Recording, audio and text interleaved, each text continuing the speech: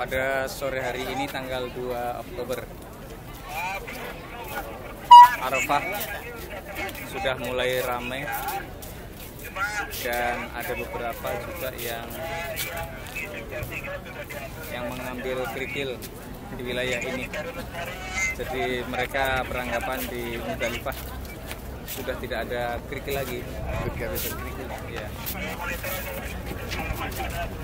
Yeah, yeah, yeah.